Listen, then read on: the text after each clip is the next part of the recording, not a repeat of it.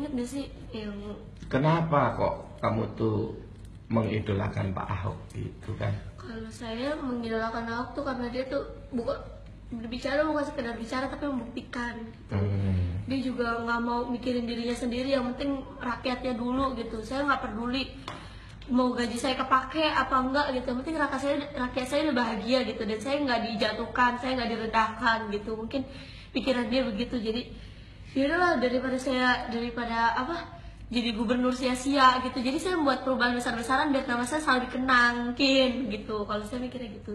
Tapi nggak tahu deh kalau yang lain. Kalau KJP? kalau masalah KJP sih sebenarnya saya setuju nggak setuju ya gitu. Harusnya karena kalau KJP juga harusnya emang pemerintahnya langsung yang lihat gitu. Kalau RT RW kan dibayar berapa juga. Misal dia orang punya gitu ngebayar RT-nya ya RT-nya jalan dong pasti gitu. Hmm. Makanya justru kenapa orang yang mampu itu malah dapat daripada orang yang nggak mampu. Soalnya apa? Mereka beban dibayar RT sama RW-nya gitu. Dan kenapa juga RT, dan rata-rata RT RW itu mendukung si Agus. Karena Agus janji apa? Per bulan mereka bakal dikasih 10 m ya?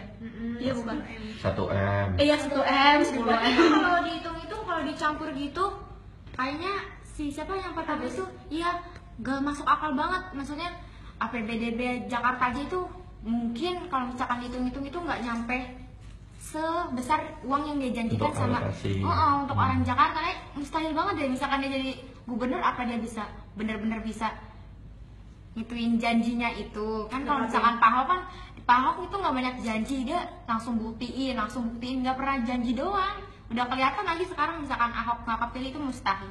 Kalau Iya. saya pasti dia kepilih lagi. Walaupun emang banyak yang benci eh sekarangnya kan udah kelihatan dia kerja nyata ya kan? Nggak pernah omong doang nggak pernah janji-janji doang. Pokoknya ada di iya udah kelihatan banget. Ahok itu bener-bener oh, it's the best banget.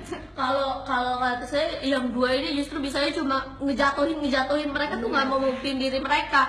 Mereka justru sibuk menjat si kelemahan iya nyari iya. kelemahan salah mereka salahnya di situ. Kenapa mereka nggak tunjukin yang lebih lebih Iya. dari Ahok itu? Mungkin mereka bisa dipilih peluangnya lebih banyak daripada si Ahok sedangkan si Ahok ini berusaha mereka tutup kuping gitu yang penting mereka ngomong apa yang mereka ini gitu santai aja karena dia tuh udah punya kerjanya tuh udah bener-bener nyata Udah Iya, kelihatan. udah. eh, kalau mereka cuma sekedar apa sih ininya ngejatuh-jatuhin justru malah dibenci gitu.